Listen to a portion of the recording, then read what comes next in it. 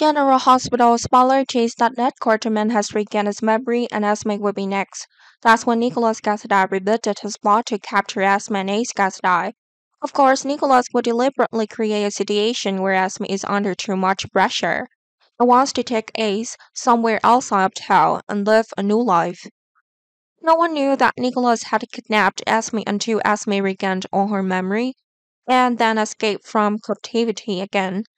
There must be somewhere familiar to Esme that makes her agitated and remember all the past. Wyndemere is the most logical place. Ava Jerome sells Wyndemere, and Nikolas is the anonymous buyer of Wyndemere. Nikolas did not want Nikolas' property to fall into the hands of others. Of course, Nikolas could not publicly buy that place.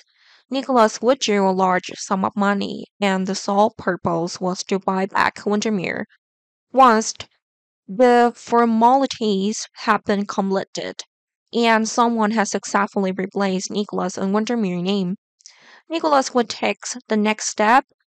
Esme doesn't remember Nikolas' crimes. Laura Collins and Spencer Cassadine remember them clearly. Spencer did not take Esme's side, but Spencer also did not allow Nikolas to touch Spencer's younger brother because Spencer believes that Spencer's father is a cruel person and is not worthy of being a father to Spencer and Ace. Spencer did not forgive his father and vowed to take him down if he saw him in town. But Spencer won't know when Nikolas will return. Spencer only knows that Nikolas may be in Europe after Laura revelation. Esme will come to live upstairs at Kelly's Veterans. Esme is no longer under the protection of Laura and Spencer, which is the right time for Nikolas to kidnap Esme and Ace. Nikolas has bought back Wyndemere, and that is where Nikolas will illegally hold Esme once again. Esme will see the familiar surrounding space and remember something until Esme screamed in despair and fainted. When Esme woke up, that was when Esme remembered everything. Of course, Esme remembered that Esme had also been imprisoned in that place, and that Esme had once jumped into the water to escape imprisonment. It is worth mentioning that Nikolas also took precautions in this case, so the only door was sealed and there were two people guarding it.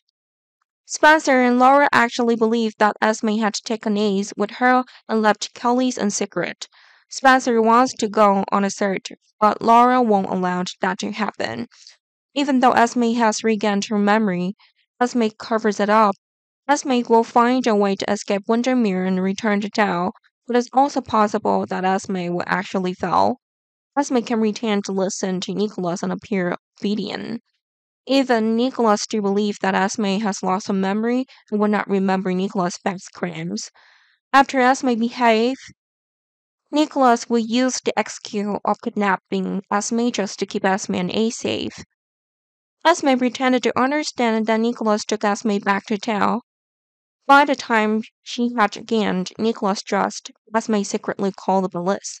Esme will expose Nikolas' true face and tell the police all the crimes that Nikolas has committed against Esme in the past and present. Nikolas was arrested after Spencer also testified for Esme.